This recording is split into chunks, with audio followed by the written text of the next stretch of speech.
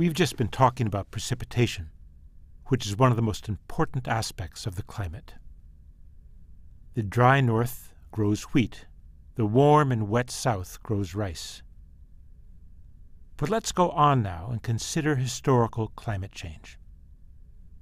The Chinese historical record contains an enormous amount of information from which we can infer periods of relative warmth and relative cold. And here are the results of the most extensive research yet done on climate change through Chinese history.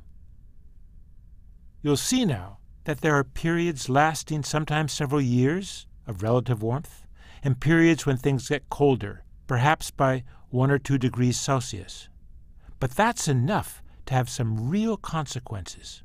What are those consequences?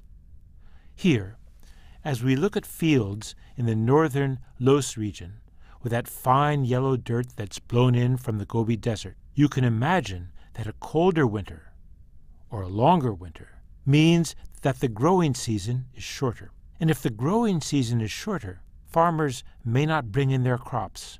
We go to the south, the wet rice growing region. We might see a very different thing there. Here, a shorter growing season, let's say cold, might have consequences, but not necessarily bad consequences. One hypothesis is that colder temperatures in the south made it possible for farmers to grow not only rice, but also a crop of winter wheat, which greatly increased their productivity and, we assume, their wealth. Now, there's one last consideration. Here you see the capital, the modern capital of Beijing, and as we look here, you'll see that the main road leading to the northwest goes through the passes, goes out into the steppe, and on into the Gobi Desert, into Mongolia. The pastoral people's herds depended upon grasslands. Changes in climate meant changes in the availability of food for their flocks and their horses.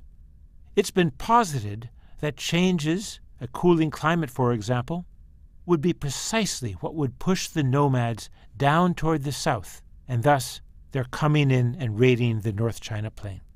We still lack the kinds of particular exact evidence that would allow us to make these claims. But the general idea is worth considering, and the fact that climate changes historically is something we should keep in mind.